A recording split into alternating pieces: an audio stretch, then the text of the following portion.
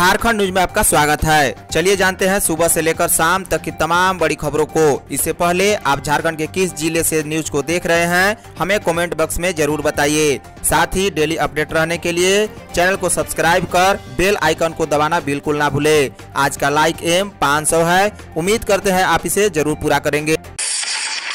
झारखंड में semi lockdown के विस्तार पर आज फैसला। झारखंड में कोरोना के बढ़ते संक्रमण को देखते हुए राज्य की हेमंत सोरेन सरकार द्वारा 15 जनवरी तक कई पाबंदियाँ लगाई गई है। बता दें, इन पाबंदियों के विस्तार पर सरकार आज शनिवार को फैसला ले सकती है। आपको बता दें कि कल शुक्रवार को ही आपदा प्रबंधन प्राधिकार की बैठक होनी थी, लेकिन किन्हीं कारणों से वह बैठक स्थगित हो गई। बता दें, झारखंड की हेमंत सोरेन सरकार ने राज्य में कोरोना के बढ़ते हालात को देखते हुए तीन जनवरी को हुई आपदा प्रबंधन प्राधिकार की बैठक में कई तरह की पाबंदियाँ लागू की थी। पंद्रह जनवरी 2022 तक ये पाबंदियाँ लागू है। आज इसकी आखिरी तारीख है। इसको देखते हुए शुक्रवार को ही आपदा प्रबंधन प्राधिकार की बैठक होनी थी, लेकिन बैठक टल गई। आज शनिवार को ये बैठक हो सकती है। इसमें यह तय किया जाएगा कि ये पाबंदियाँ आगे भी लागू रहेगी या सख्ती और बढ़ेगी। झारखंड में जारी रहेगा कोहरा। 10 से 12 के बीच हो सकता है न्यूनतम तापमान।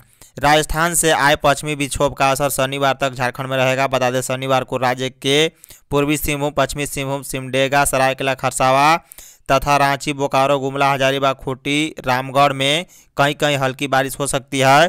शेष भाग में सामान्यतः बादल छाए रहेंगे। मौसम केंद्र ने पूर्वानुमान किया है कि 16 से 20 जनवरी तक पूरे राज्य में सुबह में कोहरा रहेगा। बाद में आसमान साफ़ हो जाएगा। बता दें, शुक्रवार को राजधानी में दिन भर आकाश में बादल छाया रहा।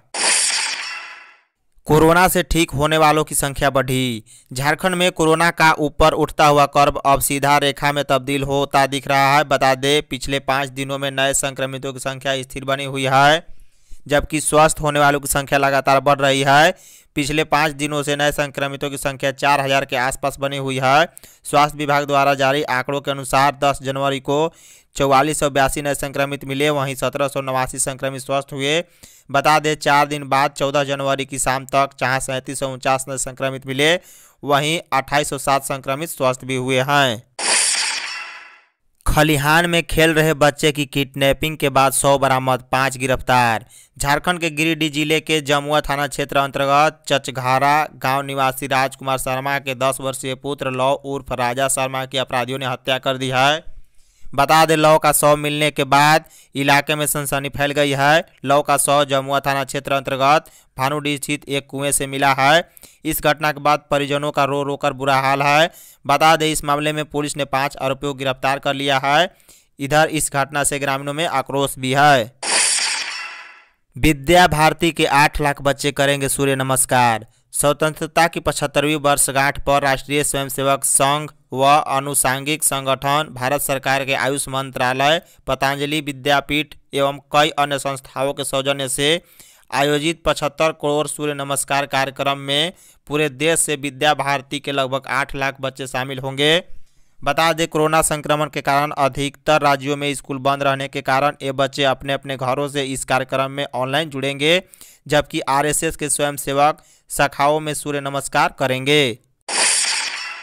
झारखंड में नया नियम लागू, अब एक साथ नहीं मिलेगा दो माह का राशन।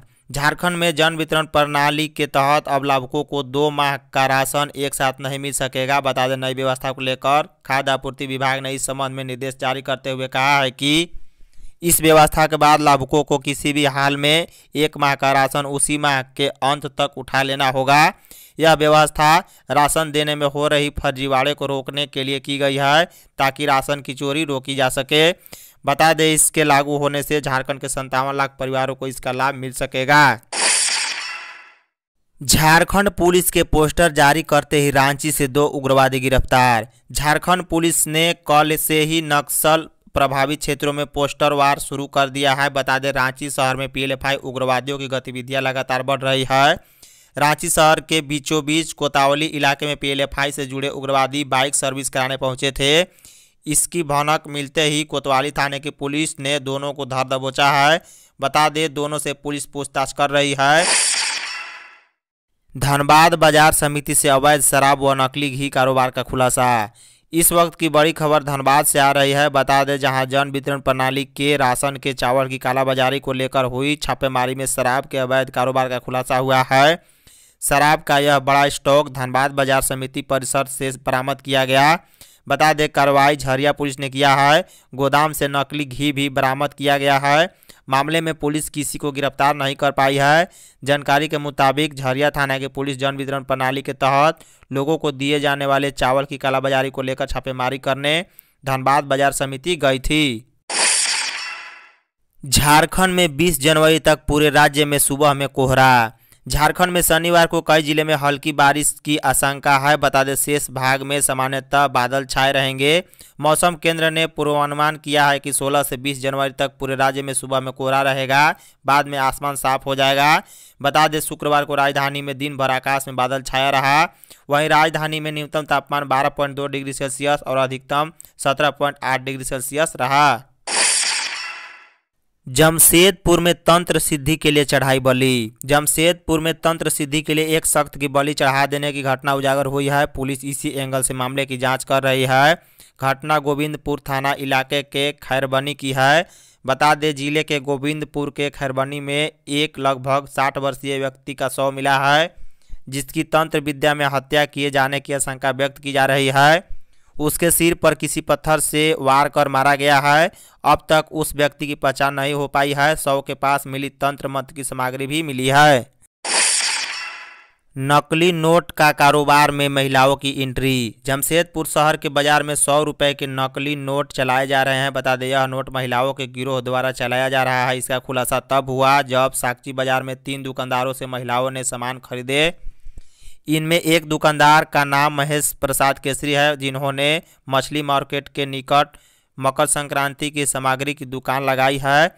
बता दें, उन्होंने बताया कि दो महिलाएँ उनके पास आई और चूड़ा, गुड़ व अन्य सामान खरीदे। इसके एवज में उन्होंने एक एक कर सौ सौ के नोट दिए। इसमें जो बचे पैसे थे, वह उन्होंने लौटा दिया। इस बीच अचानक बारिश होने लगी। बारिश होने पर नोट भी भीग गए। भीगने के बाद जब नोट को देखा तो उससे रंग छूट रहा था। समझते देर नहीं लगा कि वे नकली नोट देकर चले गए। पिछड़ा वर्ग संघर्ष मोर्चा ने इक्कीस जनवरी को होने वाली धरना स्थगित की। पिछड़ा वर्ग संघर्ष मोर्चा झारखंड की एक बैठक लालपुर स्थित अमरावती अपार्टमेंट में शुक्रवार को हुई। बैठक की अध्यक्षता पिछड़ा वर्ग संघर्ष मोर्चा के प्रदेश अध्यक्ष सह पूर्व मंत्री लालचंद महतो ने की। बैठक में सर्वसम्मति से निर्णय लिया गया कि इक्कीस जनवरी को पूर्व घोषित कार्यक्रम के तहत सभी प्रखंडों में होने वाली धारणा को स्थगित कर दिया जाए। लालचंद महतो ने कहा कि सरकार के द्वारा जारी कोविड गाइडलाइन को देखते हुए धारणा को स्थगित किया गया है। धारणा की अगली सूचना गाइडलाइन के अनुसार दी जाएगी। मकर संक्रांति पर रांची में 14 लाख लीटर दूध की हुई खपत मकर संक्रांति पर रांची में इस बार 13.99 लाख लीटर दूध व एक लाख तैंतीस हज़ार किलो दही की खपत हुई है। बता दें, शहर के दो बड़े डेयरी कंपनियों, मेधा व सुधा से मिले आंकड़ों के मुताबिक बीते चार दिनों, ग्यारह, बारह, तेरह व चौदह जनवरी को सुधा ने, जहाँ छः पॉइंट छः एक लाख लीटर दूध की बिक्री की, वहीं मेधा ने सात पॉइंट तीन आठ लाख लीटर दूध की बिक्री की है। झारखंड में तेईस लाख परिवारों को नहीं मिला एक दिन का भी काम। झारखंड में तेईस लाख तीस हज़ार एक सौ तीन परिवारों को मनरेगा के तहत एक दिन का भी काम नहीं मिल सका है। बता दें, राज्य के कुल पैंतालीस लाख अस्सी हज़ार दो सौ उनहत्तर जॉब कार्डधारी परिवारों में से बाईस लाख पचास हज़ार एक सौ छियासठ परिवार ही ऐसे हैं जिन्हें एक दिन या फिर उससे अधिक दिन का काम मिला है। बता दें, इसमें चौवन हज़ार इकतालीस परिवार ही सौ दिनों का काम कर चुके हैं। एक तरह जहाँ राज्य सरकार ज़्यादा से ज़्यादा लोगों को काम देने का निर्देश दे रही है, वहीं केंद्र सरकार ने भी स्पष्ट कर दिया है कि मनरेगा के तहत 50 फ़ीसदी परिवारों को 100 दिन का काम नहीं मिलने पर राशि नहीं दी जाएगी। झारखंड में कोरोना के सैंतीस सौ उनचास नए मरीज़ मिले, तीन की मौत, एक्टिव केस तैंतीस हज़ार के पार। झारखंड में कोरोना के सैंतीस सौ उनचास नए मरीज़ मिले हैं, जो रांची से तेरह सौ पचपन, पूर्वी सिंहभूम चार सौ बहत्तर, बोकारो एक सौ तेईस, हजारीबाग तीन सौ छः धनबाद 130 रामगढ़ चौवन, पश्चिमी सिंहभूम चौहत्तर, कोडरमा एक पलामू एक सौ बयालीस, देवघर एक सौ पच्चीस, गुमला इकतालीस गिरिडीह दस, खूंटी से आठ, लातेहार पच्चीस, सिमडेगा एक सौ इकतालीस सरायकला खरसावा दस, गढ़वा तैंतालीस, लोहरदगा बावन, चतरा अस्सी, गोड्डा संतानवे जामतड़ा ग्यारह, दुमका एक सौ तिरानवे, साहिबगंज छियासठ, पाकुड़ से सत्ताईस मरीज़ मिले हैं। बता दें, तीन मरीज़ की मौत हुई है, वहीं एक्टिव केस तैंतीस हज़ार के पार है। धन्यवाद। यदि आप चैनल पर नए हो तो चैनल को सब्सक्राइब कर, बॉल का बेल आइकन दबाइए साथ साथ वीडियो को एक लाइक कर, अपने दोस्तों के व्हाट्सएप, फेसबुक, ट्विटर, इंस्टाग्राम पर शेयर करना ना भूले साथ ही साथ आप हमें कमेंट बॉक्स में अपना फीडबैक अवश्य दे। Thank you.